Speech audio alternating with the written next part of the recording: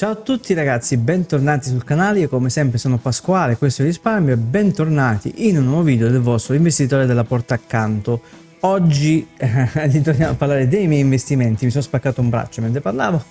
ritorniamo a parlare dei miei investimenti, ritorniamo a parlare di quello che sono state le mie performance in quest'ultimo periodo. Come vi ricordate ho deciso di non fare mai più un video di, ehm, diciamo, di aggiornamento sul portafoglio su base mensile, ma bensì di farlo su base trimestrale perché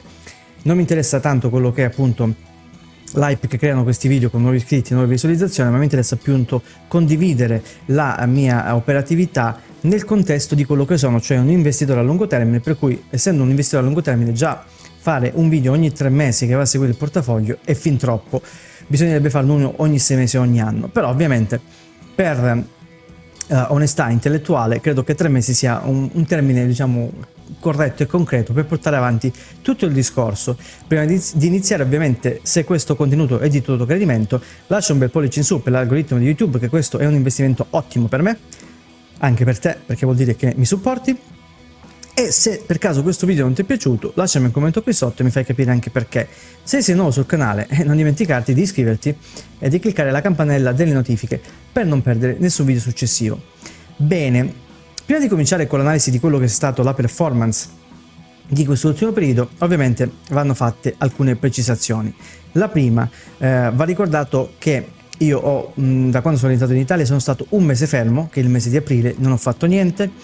era stato tutto diciamo fermo, non avevo fatto assolutamente nessuna uh, operazione e poi maggio e giugno ho fatto le operazioni spostando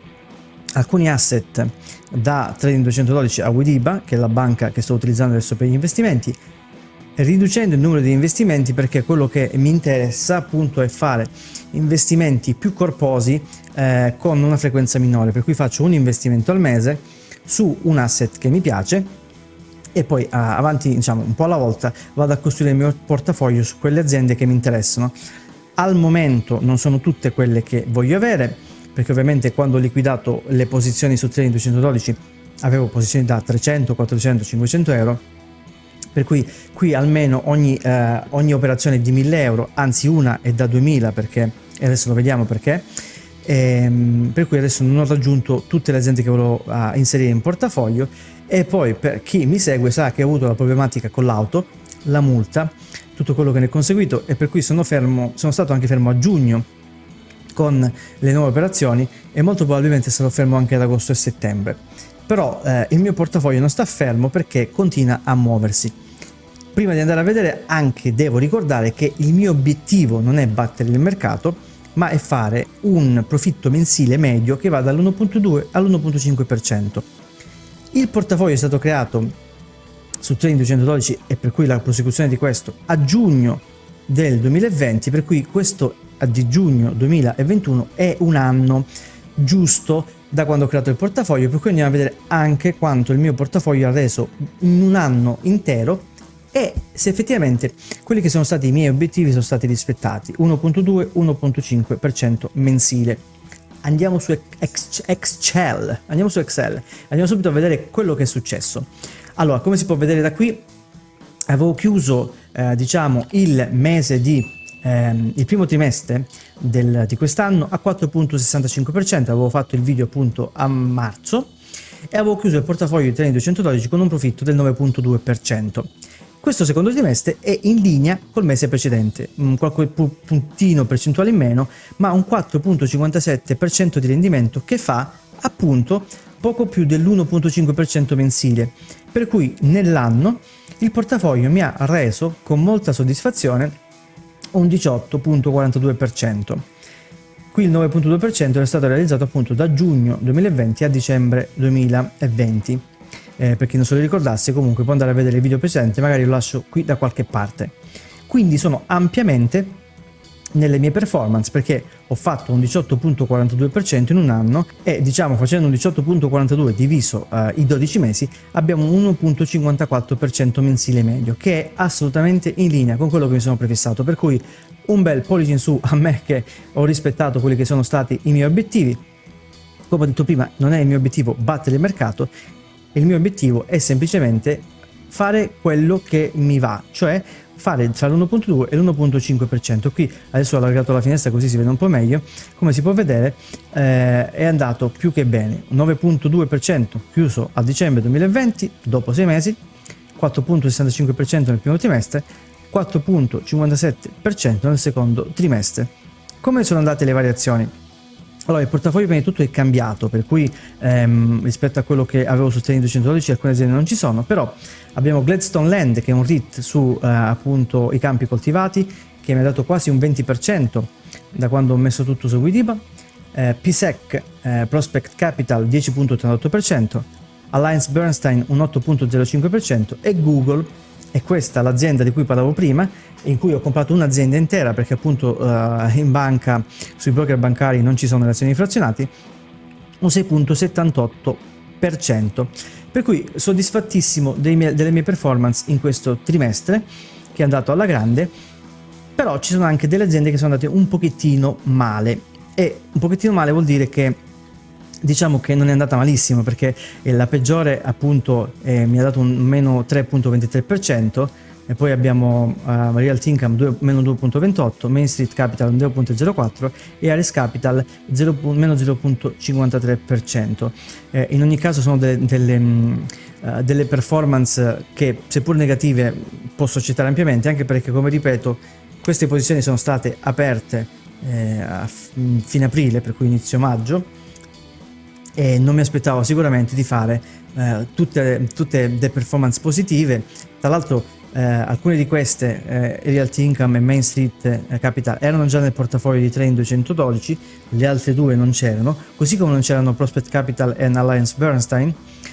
e, ma stanno andando più che bene secondo me perché eh, comunque questi due erano in buon profitto, per cui rispetto a quello che avevo prima eh, la posizione totale sarebbe comunque in profitto, adesso non ricordo sinceramente quanto era eh, il profitto originario, si può andare a vedere i video precedenti, ma poco mi interessa perché appunto adesso ho creato il portafoglio qui e non, non guardo al passato. Allora andiamo a vedere quelli che sono stati i dividendi, qui sono, le aziende sono divise per posizioni eh, e possiamo andare a vedere che nel, nel mese di maggio eh, ho, ho, fa, ho, fatto 13.51 euro di dividendi, nel mese di giugno 14.72. Ovviamente quelle che hanno uh, i dividendi mensili sono qui, Realty Income, Stag, uh, Industrial eh, e anche le altre diciamo sono dividendi mensili, solo che eh, le ho comprate dopo, per cui in questo momento non le ho ricevute. Eh, Allens Bernstein eh, è quella che mi sta dando il dividendo maggiore perché ha un dividendo piuttosto ampio e ci ho fatto un video a proposito, magari ve lo lascio qui da qualche parte nel video. E per cui da quando ho aperto questo portafoglio in questi due mesi uh, ho guadagnato 28,23 euro di dividendi. Mm, che per essere appunto eh,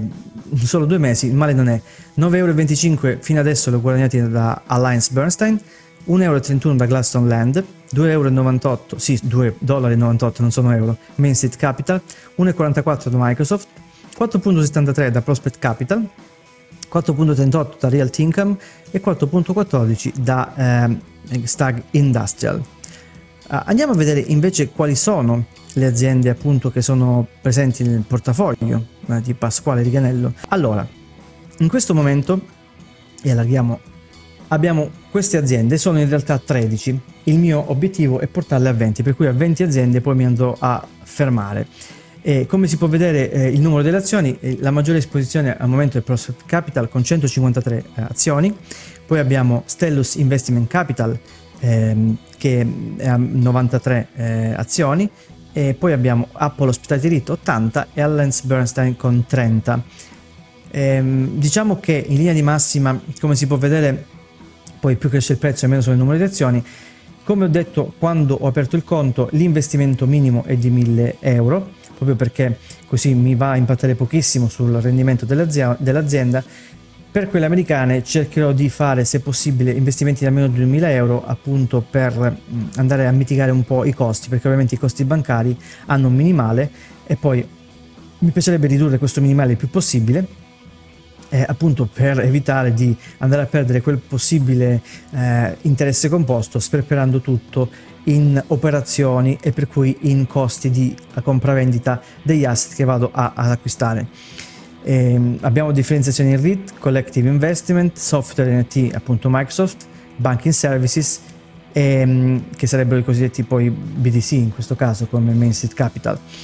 Ehm, ovviamente mancano ancora alcune aziende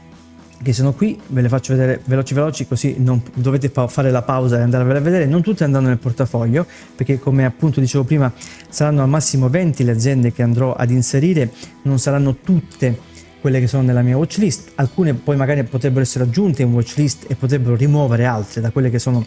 diciamo i miei obiettivi proprio perché mi vado un po' a concentrare di più su quello che è uh, il mio obiettivo di vita che è appunto creare una, un flusso di cassa e dividendi ma dalle aziende che mancano comunque mancano anche alcune aziende diciamo growth che sono piccole e alcune che sono mega cap. Perché voglio creare come ho detto uh, nel video precedente anche una certa tipologia di diversificazione perché l'investitore consapevole va a investire non solo in una tipologia di aziende o in un'altra ma cerca di prendere parte e eh, possesso appunto perché diventa proprietario di alcune aziende condividendone il progetto imprenditoriale, condividendo il management e i prodotti che va a creare, siano questi servizi o prodotti fisici. Bene, spero che questo aggiornamento sia stato di tuo gradimento. Io sono molto contento perché sto portando avanti il mio progetto e i miei obiettivi sono rispettati tutti i mesi, un 1.2-1.5% mensile, sono felicissimo, per cui la mia curva di guadagno aumenta sempre di più e sono molto contento. Diciamo che So che molte persone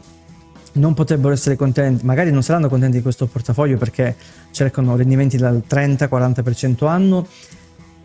però ognuno ha i propri obiettivi di vita e il mio obiettivo è questo, fare un 18% anno, 20% anno è più che soddisfacente per me.